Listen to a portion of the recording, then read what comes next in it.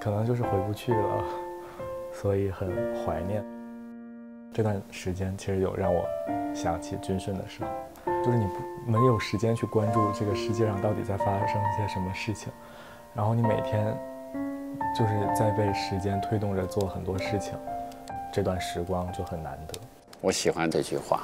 我觉得以后的生活里不会再有这样的机会了。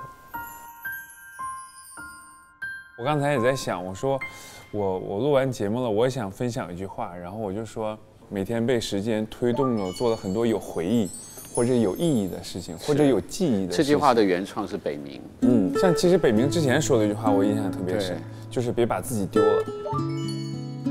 对，为什么？我刚才在跟这个佳佳说。好多人，你叫他写文案，其实很多人是逼不出来的，因为他没有经历，经历才是你写文案的那支笔。对对对。所以北冥，如果一开始他能说出“时间推动了我做很多事情”这句话吗？他可能说不出来。我想说，如果明天让我发言，我感性了，我在上面下不来台，哭的稀里哗啦怎么办？你俩就把我拉下来，我们就给你拍丑照。就别让我第一个发言。如果我发言上面哭哭一半，然后你们俩就别发言了。现在可能因为时间也快结束了，所以就有点遗憾。刚开始认识这个公司，可能还是表面吧，就在感觉了解的根本就不够，只是一些皮毛。然后慢慢的接触下来，其实发现公司其实是有很多的温度的，就很舍不得。漫长且短暂，短暂呢，就是又感觉。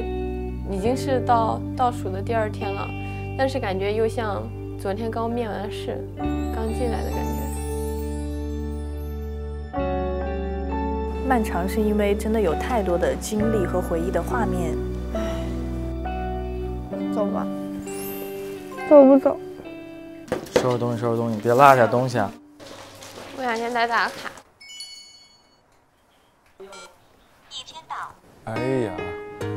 最后一回了，这句话讲的很令人很伤心啊，伤感。弟弟，我走了。